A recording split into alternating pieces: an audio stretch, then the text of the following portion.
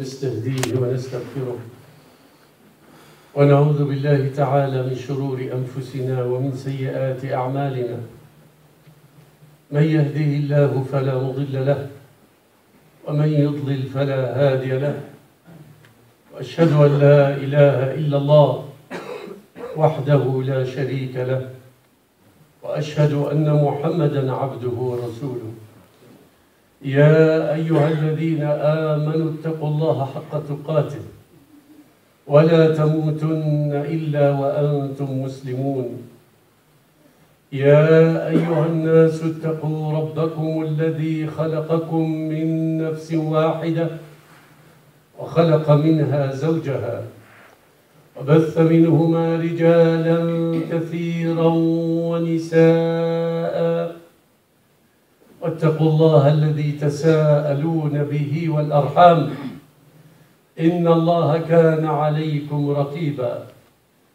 يا أيها الذين آمنوا اتقوا الله وقولوا قولا سديدا. يصلح لكم أعمالكم ويغفر لكم ذنوبكم. ومن يطع الله ورسوله فقد فاز فوزا عظيما. أما بعد فإن أصدق الحديث كتاب الله تعالى وخير الهدي هدي محمد صلى الله عليه وسلم وشر الأمور محدثاتها فكل محدثة بدعة وكل بدعة ضلالة وكل ضلالة في النار. ثم أما بعد إخوة الإسلام Dear respected brothers and sisters in Islam.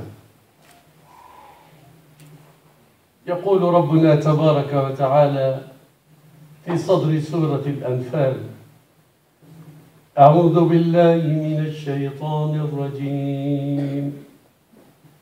بسم الله الرحمن الرحيم. يسألونك عن الأنفال قل الأنفال لله والرسول. فاتقوا الله وأصلحوا ذات بينكم وأطيعوا الله ورسوله إن كنتم مؤمنين. الله سبحانه وتعالى سيج إن سورة الأنفال. Let's start with Surah Al-Anfal, Surah number 8, verse number 1. O Muhammad, صلى الله عليه وسلم. if they will ask you about the booty, the collection after the Islamic fight.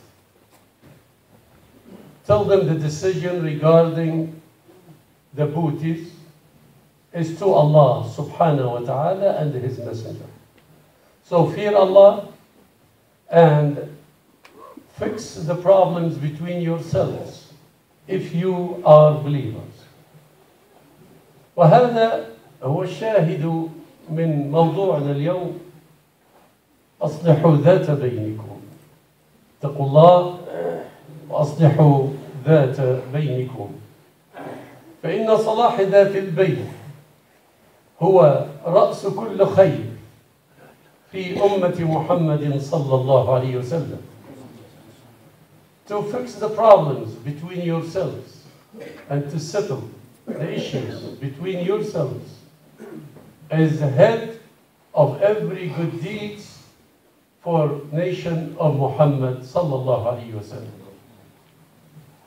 وإصلاح البين هو كلام عام وفيه تخصيص and to fix between yourselves that is general talk and it could be special for certain issues but in general we will speak today ونتكلم اليوم في إصلاح ذات البين بصفة عامة وخصوصا ما يقع بين المسلمين من شحناء بين الرجل وأخيه وبين المرأة وأختها.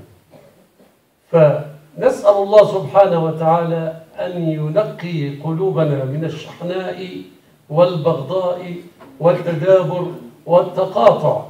لأن ذلك يضيع الدين وأن ذلك يجعل الحسد يدب إلى القلوب ونعوذ بالله من أن يدخل الحسد والبغضاء قلوبنا اللهم آمين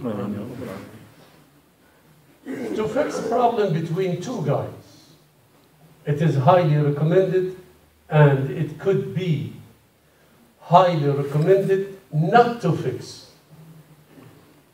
وقد يكون إصلاح ذات البين فريضة بل هو بصفة عامة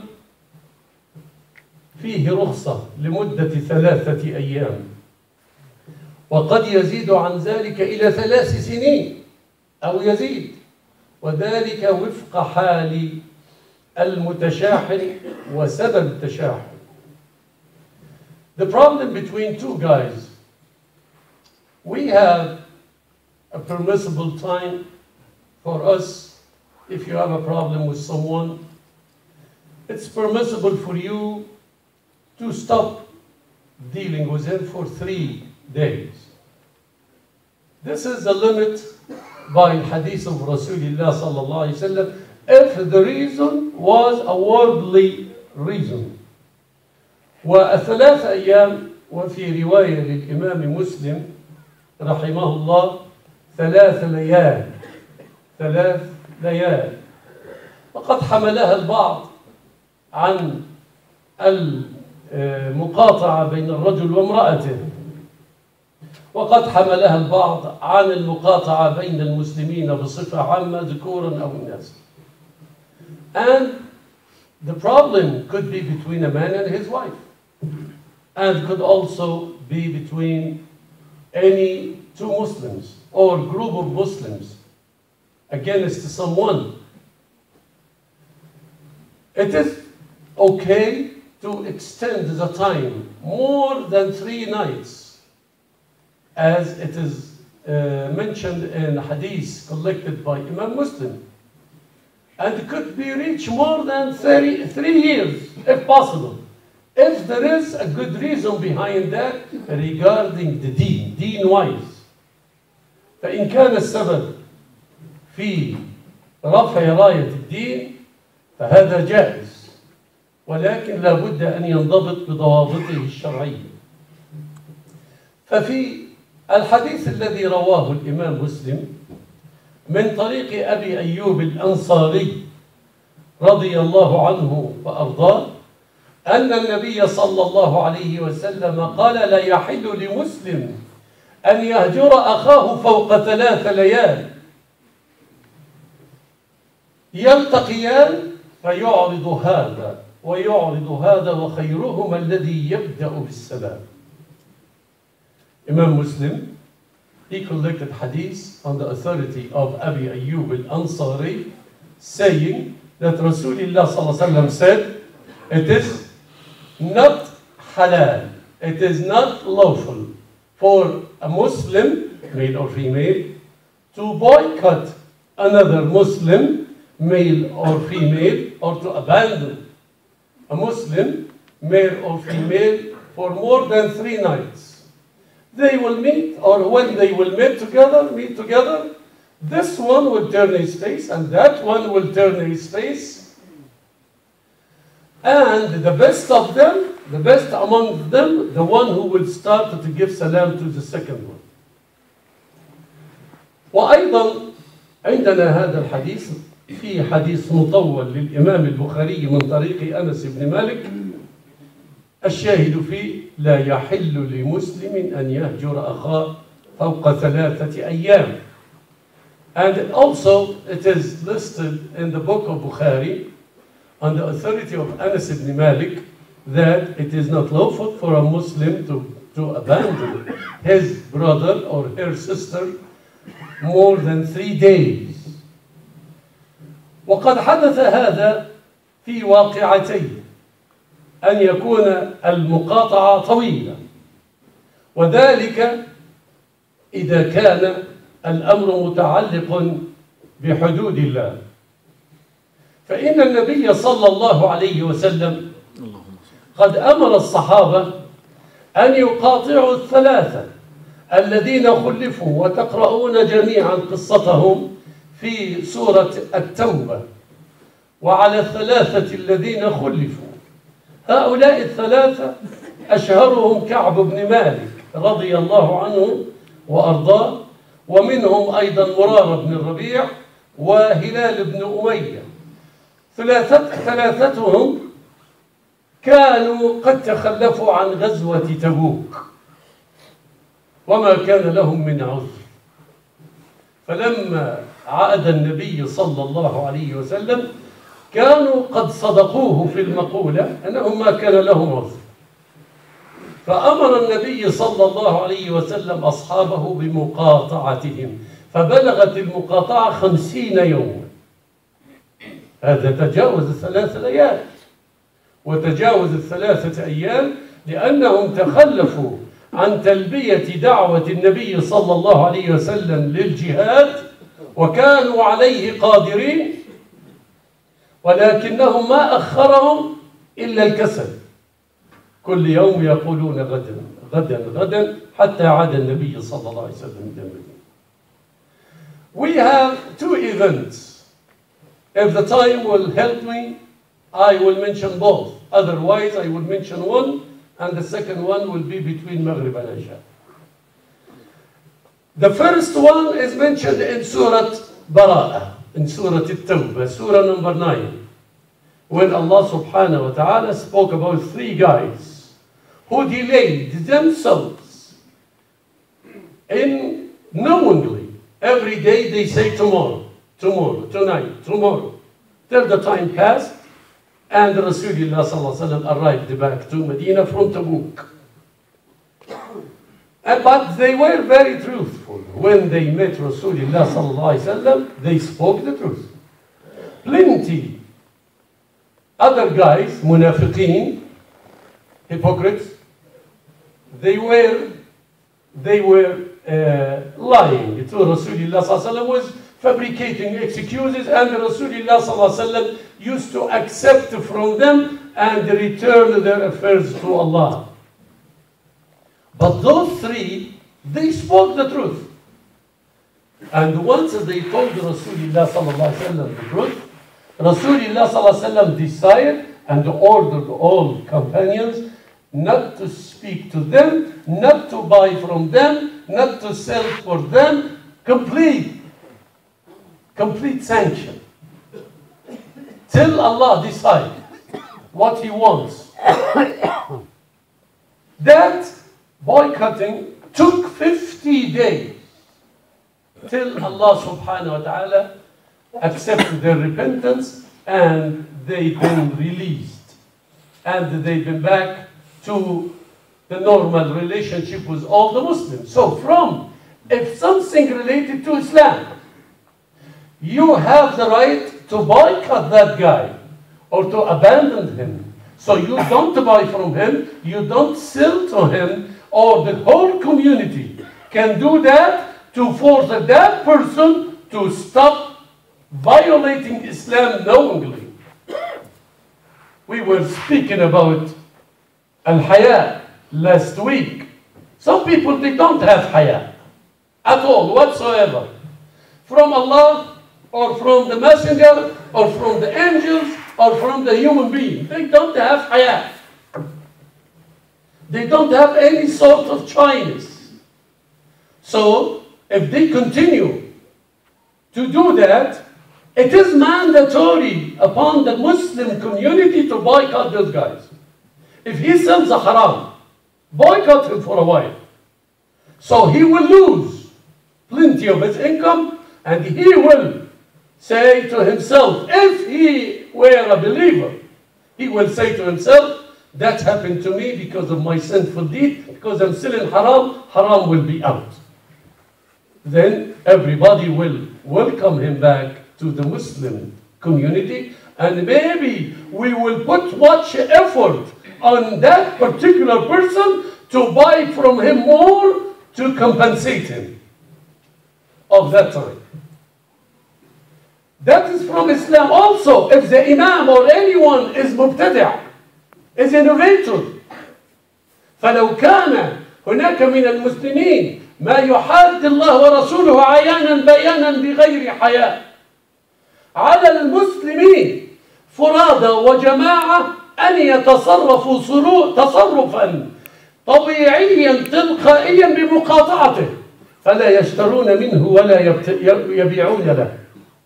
ولا حتى يلقون عليه السلام إن كانت هذه المقاطعة تجدي معه. ولكن قد يكون هذا الرجل مقاطعته لا تجدي نفعا فهو عنيد وإن أكل التراب لن يرجع ولن يعود إلى الحياة ولن يطع الله ورسوله. ففي هذه الحالة دعك منه ولا تشغلن بالك به. وإن كان رجل في الجماعة أو حتى إمام المسجد مبتدع فيجوز لكل الناس مقاطعته أو لفظه لأنه مبتدع ويصر على بدعته. ففي هذه الحالة يحق للمسلمين بلفظه من بينهم واستبداله برجل واستبداله برجل آخر يقيم بينهم السنة. ثم إن كان فردا عاديا يقاطعه الجميع إلى حين حتى يرجع عن غيه وعن قلة حيائه مع الله ورسوله. فإن فاء فإن الله غفور رحيم. وإن استمر في عصيانه فلا عليك لو قاطعته سنين. لا تكلمه لا تسايره لا تضاحكه. قد. قد إذا ألقى عليك السلام يمكنك أن تخفي سلامك فترد سرا تريد إكثار الضغط عليه ليطيع ليطيع الله ورسوله If a person who is an innovator and he is he inno- innovates in the deen of Allah, even if he were the imam of that masjid, so people should abandon him or should request him to leave and to, to replace him with another person who applied the sunnah amongst them. And if he was a normal person in the community and they get together without even pre-agreement, everybody from himself, he behaves like that, so the total behavior will be as if one person dealing with him, boycotting him, to stop selling haram, to stop acting in haram way, to stop disclosing himself to haram issues, male or female, that particular person should see strong response, response from the Muslim community to stop that. Or he has to leave that community. Go somewhere else. Start fresh over there, or we don't want you among us if you insist to do what you are doing. Plenty people, they don't care.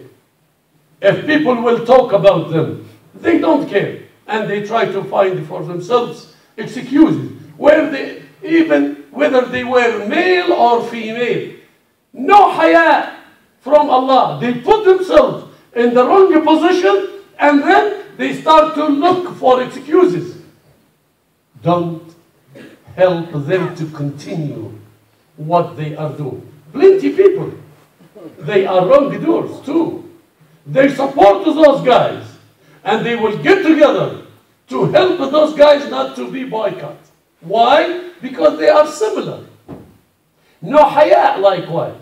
So Muslims should be very strong to purify the community from an individual behavior or a major behavior to stop any opposition to Allah or Rasulullah. You heard what I said. وصلى الله وسلم وبارك على النبي محمد. الحمد لله رب العالمين والعاقبة للمتقين ولا عدوان إلا على الظالمين الحديث الثاني لا مجال له الآن لأنه طويل نوعا ما فيحتاج مثل الوقت الذي مضى نتكلم عليه بين المغرب والعشاء وهو خاص بأمنا عائشة رضي الله عنها وأرضاها The other issue, I cannot speak about it now because time is almost finished, which I promise you to strictly follow it. ولكن النبي صلى الله عليه وسلم يحذر المسلمين من التباغض والتشاحن والتدابر. كما أورد الإمام البخاري من حديث أنس بن مالك لا تباغضوا ولا تدابروا ولا تحاسدوا وكونوا عباد الله إخوانا. لا يحل لمسلم أن يهجر أخاه فوق ثلاث. فالنبي صلى الله عليه وسلم كان حريص على المؤمنين. ولا يوجد أحرص منه على المؤمنين. بالمؤمنين رؤوف رحيم حريص عليه ما عنتم. فهو صلى الله عليه وسلم كان حريص على أن ينبهنا إلى كل معصية قد تجلب سخط الله. ولو تكررت المعصية بين الناس لفشت بين الناس. ولو فشت المعصية بين الناس لاستحقوا جميعا العقوبة وإن كان فيهم صالحون رسول الله صلى الله عليه وسلم on the authority of Anas ibn Malik in the book of Bukhari and book of Muslim plenty of hadith they agreed upon that Rasulullah صلى الله عليه وسلم forbade us to boycott one another for worldly reason he forbade us to turn our backs to one another he forbade us to envy one another to have envy in our hearts toward one another and he ordered us to be brothers in Islam or brothers and sisters in Islam. And also, he said, do not abandon your brother for a reason, a worldly reason, more than three days. It is very clear that you go to this guy, please, reach your brother. Oh, no, no, I don't want to talk to him. Please, reach your brother. Oh, no, I don't want to, I don't want to know him. I, why? And maybe the problem, maybe few dollars. Fear Allah. And the one who comes first and say to the other, Assalamu alaikum. I'm sorry. And he insists not to accept from him. The first one who gave salam is out of abandonment. But the second one, he carry both sins. So I hope no one in the masjid from today to have any evil thought or evil, evil feeling toward his brother because of dunya.